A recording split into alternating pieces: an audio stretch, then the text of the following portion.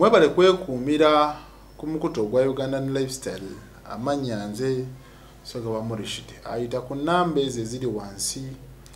Ogenda kubeera ngaojjanjabibwa obulwadde bwa ulcers pressure sukaali amannya agaali bebuuka nammwe abasajja kusalya ekisenge tebitambula bulungi ddagala lya abo n'obabwere w'eggwanga lijja kubeera nga likutuukako.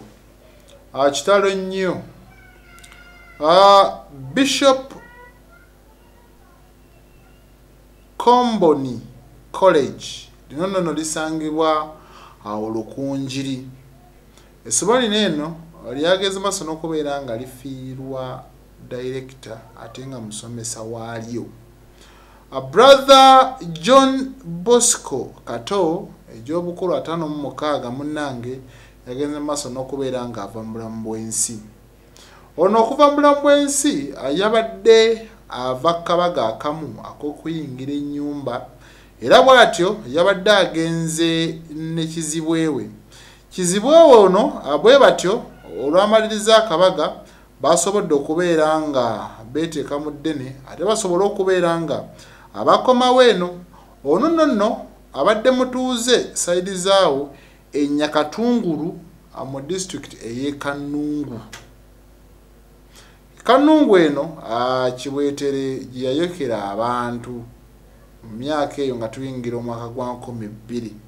Kati mu mbeera bw'etyo ababadde mu motoka ekika kya toyota plado bisatu kumi nabbiri r era nga esoma uba namba pureti uba bisatu kumi nabbiri r lwabadde lunaku lwakubiri munnange wakati mu kujja yageze maaso n'okubeera ng'apaakinga emabbali g'oluguudo ng'awulira embeera si ennungi era wano eno kizibwewe yeebuliza ate guki ogubadde yagenze omulaba ng'asikondoka wano basobodde okubeera nga bafuna boodabooda yagenze maaso n'okubeera ng'ono emwolekeza mu ddwaliro erya nyakibaale. Munnange mu kutuuka eyo gye baakabatemedde nti ono yabadde amaze okukka oba okussa omukka gwe ogw'enkomerero. Kibi nnyo kibi ddala ekya brother john bosco akato. Tuleera eya world food program eno nno nno nga ya un egenze maaso n'okubeera ng'ekwata omuliro ebadde mu bitundu byeyo ekabaale era nga nebadde ekubyeko kasooli.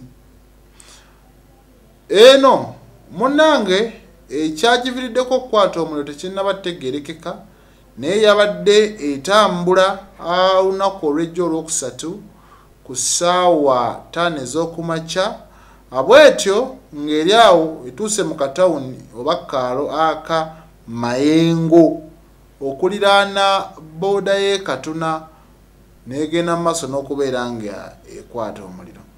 Namba puleti uas 134 r eyagenze maaso n'okubeera nga eggwawo atuleera eno yabadde eva uganda ng'edda rwanda kale mu mbeera bwetyo kibi nnyo kibi ddala olw'emaali enyingi yageze maaso n'okubeera ng'etokomoka nzisiga umurishire